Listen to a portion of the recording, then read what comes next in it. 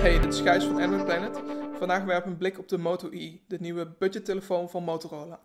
Als stiekem hebben we best uitgekeken naar dit toestel. Niet zozeer omdat hij iets bijzonders kan of er speciaal uitziet, maar voornamelijk vanwege de prijs. Voor iets meer dan 100 euro krijg je een spatwaterbestendige smartphone met behoorlijke specs en de laatste versie van Android. Toch lijkt het erop dat Motorola een behoorlijk aantal concessies heeft moeten doen om de prijs zo laag te houden. Nou, in deze video gaan we daar kort op in. Het design van de Moto E verdient zeker niet de schoonheidsprijs. Het toestel heeft een 4,3 inch scherm met een redelijke resolutie, maar voelt dik en zwaar aan. Over de voorzijde ligt een laagje krasbestendig Gorilla Glass, maar de metaalkleurige strips boven en onder het scherm geven het toestel een kiecherige uitstraling. Over de prestaties van de Moto E zijn we meer te spreken. Toestel wordt aangedreven door een Snapdragon 200 chip en 1 GB aan werkgeheugen en voelt soepel en vlot aan. Heftig gamen moet je niet doen met de telefoon, maar met de meeste apps en taken heeft hij geen moeite.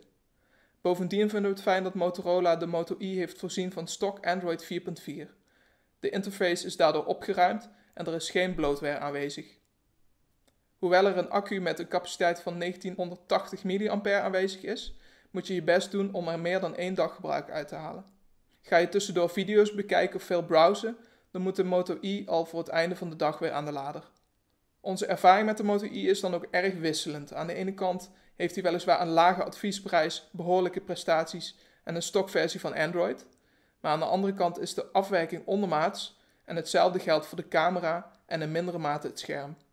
Ons advies: besteed liever een paar tientjes meer aan de uitstekende Motorola Moto G.